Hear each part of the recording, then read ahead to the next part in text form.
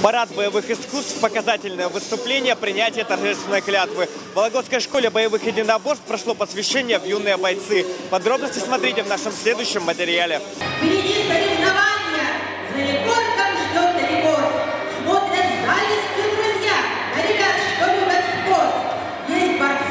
Такое торжественное мероприятие в детско-юношеской спортивной школе боевых искусств в Вологде проходит впервые. В нем приняли участие все воспитанники школы от 6 до 17 лет.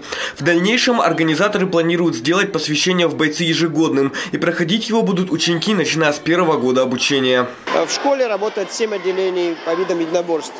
Это ушу, карате, бокс, кикбоксинг, э, самбо, дзюдо и греко-римская борьба. Соответственно, мы э, ребят всех отделений хотим поздравить с тем, что они занимаются в нашей школе, вручить им памятные значки школы, памятку юного спортсмена с клятвой, которую они сегодня будут произносить. Вести здоровый образ жизни, слушаться тренера, соблюдать спортивный режим. Поклялся каждый ученик школы. Для ребят сегодня особенный день. Совмещать занятия спортом с учебой только хорошо и отлично. Клянусь.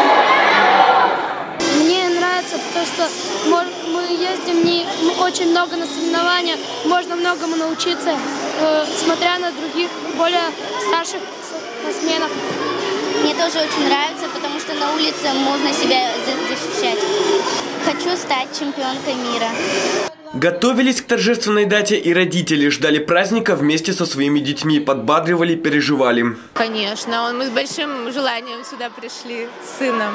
Но это очень сказывается хорошо на физическую подготовку ребенка, организует ребенка, очень организованный стал. И такой выдержанный, я бы сказала. Детско-юношеская спортивная школа боевых искусств начала работать в Вологде в январе 2011 года. В 79 группах учреждения обучается более тысячи юных вологжан. Многие из них становятся победителями всероссийских и международных соревнований. Иван Волков, Антон Лукьянов, Вологда Портал.